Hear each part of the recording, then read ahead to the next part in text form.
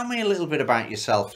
Yeah, I think that foundationally, my thing is trying to understand and predict motion of stuff in space. The how, the why things move the way they do in space is my education and foundation. And then, then there's like, how's that applied in ways that might be beneficial to humanity or whatever. And I started working for NASA on Mars missions. And I, the way that I tell people about this is many people are familiar with these movies where it's like the submarine, like Crimson Tide and that sort of stuff, where there's somebody with this headset and they're at a, a sonar station. And basically, th- their job is to interpret acoustic signals. And that interpretation of the acoustic signals allows that person, him or her, kind of within their mind's eye to kind of visualize the underwater seascape. Mountains and hills over here another Akula class sub over there so on and so forth. And my job is very similar in that i have to interpret photons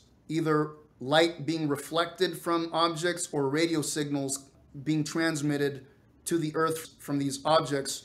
And when i interpret that the structure in the light and in, in the photons where the radio frequency or visible light, the structure, the patterns in that give me insight into where's the earth, where's the moon, where's the sun, what's the shape of this thing, how's it oriented, like all that stuff. That's what I, within my mind's eye, I reconstruct photons and that's what I see.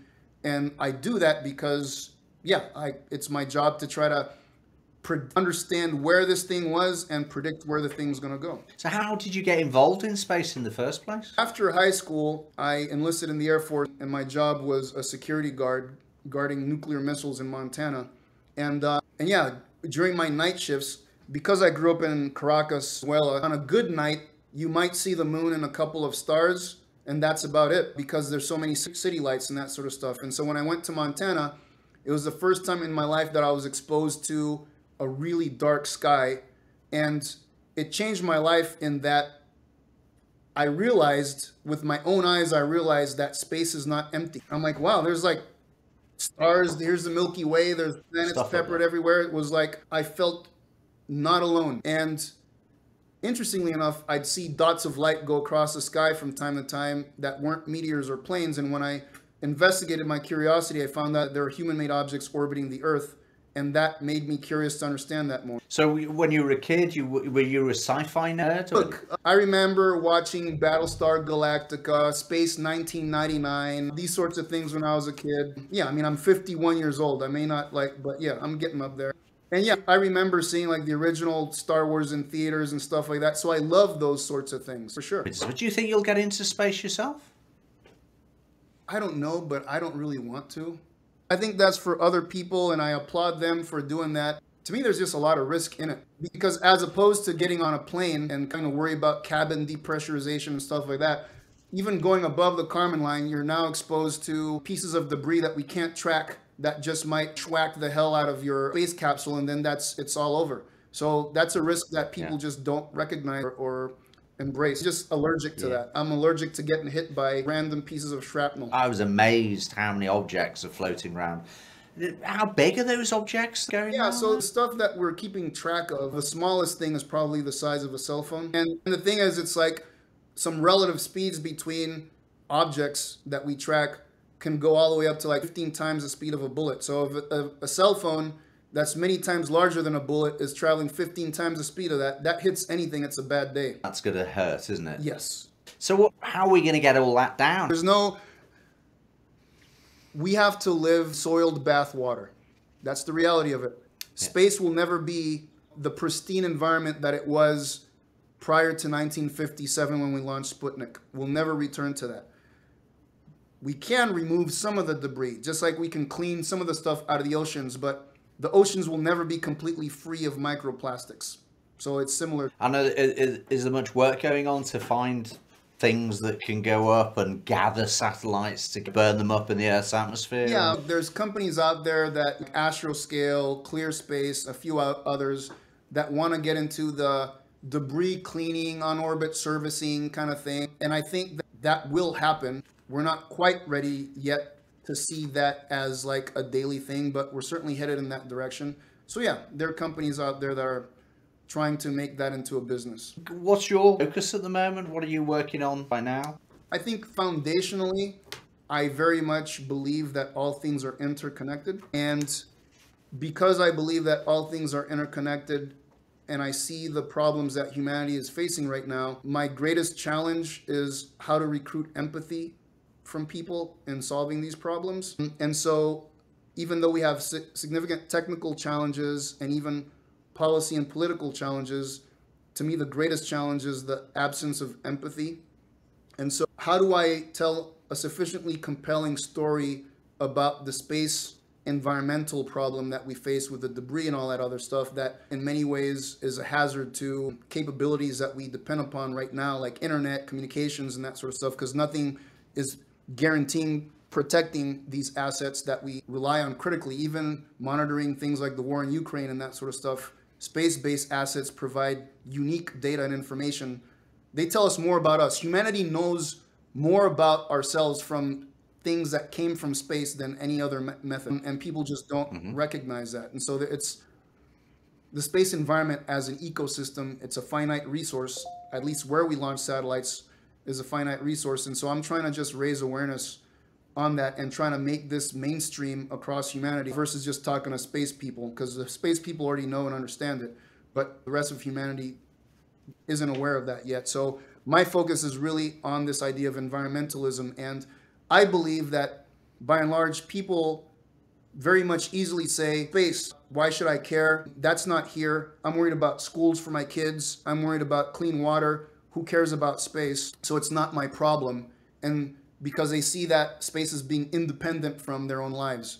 And because I believe in this interconnectedness, what I want to do through my own work, not just at the university, but with this company I co founded, Privateer, is basically can I find a way to gather and show humanity the evidence of this interconnectedness so that people are more reluctant to say that's not my problem because I'm going to show them that ultimately it is. That's what where my efforts are placed. Uh, have you noticed any changing kind of recently on the awareness of the general population about space? I think there is momentum, but I think the only way that this becomes mainstream is through the arts that's the only way that's going to become mainstream. And basically, until celebrities make it a thing, then the rest of humanity won't accept it as a thing. So yeah, this is me. This is me pushing in TV, film, media, talking to athletes and that sort of stuff. Because if I can get somebody like Leonardo DiCaprio or Brad Pitt or whatever to just even tweet about space stuff, that is what that's where the sea change is going to come. It's not going to come from scientists and engineers at all. How are you getting on with that project? I mean, th- through my work with Privateer, I'm also trying to promote, pitch an idea for a TV series that I call Shifted Space. And shifted in in this TV series, Shifted Space, I'm like a Tony Bourdain for space. Like I'm just going around the globe having some real raw rough conversations with people about what's going on in space and that sort of stuff and just again get it into people living rooms or whatever, whatever kind of mobile devices or whatever to to make that more mainstream and really connect to the human aspect of these things. Me going out and speaking to indigenous people and asking them hey have you seen the night sky change?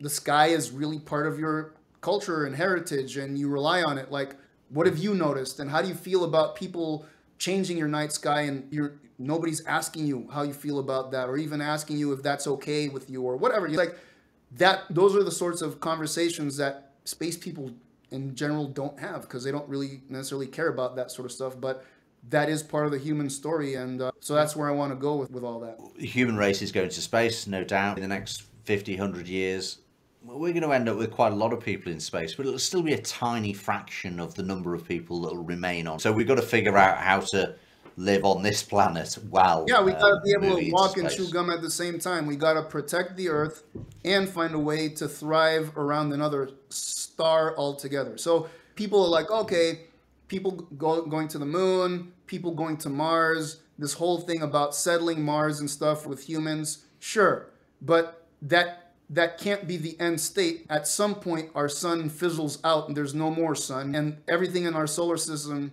that we believe has life, mainly Earth, goes the way of the dodo when that happens. So the only way to extend humanity's expiration date with absolute certainty is to find a rock around another sun to thrive on. We have to do that. And we're very far from that because there's nobody knows how to no, nobody knows how to do warp drives. So what do you think we're gonna uh, there's gonna be a kind of a trash environmental crisis a long time prior to us actually solving that and getting off living in a space on a, an extended space station. The trash problem and sustainability problem is going to come back to hold before we solve it. It already is, yeah. Yeah. If you could convey one particular point out to humanity and get it to, to connect with it, what would you say? What would that be? Again, I really embrace belief that all things are interconnected. And if people feel that they are independent of stuff, it's because they're either not looking deep enough, they're not looking far enough, or they're not looking long enough. Because if they do that, they will see that eventually, even though the effects of causes could be escaped in one lifetime, eventually it's going to touch their ch- children or their children's children and that sort of stuff. Like it's inescapable that reality of inescapability of causal relationships that are detrimental to us surviving as a species, that is what I want to show humanity evidence of. And I think that the only way to do that is going to be through machines. I think machines are going to be the answer to helping us see. How do you mean machines? Yeah. Humans are really good at contextualizing information, much better than computers are, than machines. What humans can't do is comb through multi-dimensional data cubes. We don't do that. We're not hyperdimensional analysts. Machines are really good at that. So if we can assemble massive quantities of evidence from all sources and data and information, all this other stuff, and feed all this evidence to machines to then comb through that to find causal relationships through this hyperdimensionality, machines will be able to do that and then provide that back to us so that we can put that into context to facilitate informed decision making.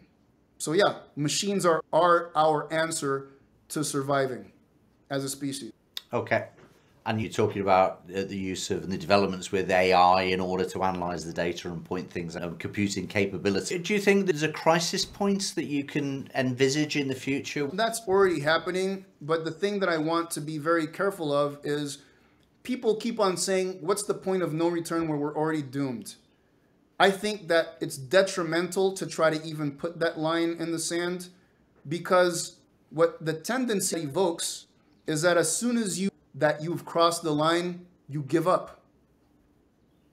Be- and I see that across young people like, ah, oh, what's the point? Like we're already done. It's not gonna work. It's like young people very quickly ingest cynicism and pessimism, and then they're like, yep, yeah, there's nothing for me to do. So I'm just gonna do whatever I want because I can't change anything. I can't like it's already it's gone. That is detrimental the truth is that life is resilient, man. Life is resilient. Everything that I've seen with my own eyes in Mother Nature, I'm constantly surprised at how resilient life is. Life fights, life struggles. And if we can at least have a successful conversation with nature to be an aid in the struggle versus a detriment to it, I believe a lot of the things, and there's evidence of reversibility of detriment. Many climate scientists said, oh, we're, here's the line in the sand, we're done. No, we're not. By modifying our behavior, we actually can make improvements and reverse some of the detriment. Clearly, things that have become extinct, you know, extinction by definition is they don't come back, but I don't know, people are discovering things that they thought were extinct that all of a sudden is like, oh, wow, this thing showed up or whatever. Nature finds a way, man. But we need to we need to be collaborative with nature in in, in facilitating that. Yeah, um, for evolutionary purposes and evolutionary timeframes, we need to give nature time Exactly.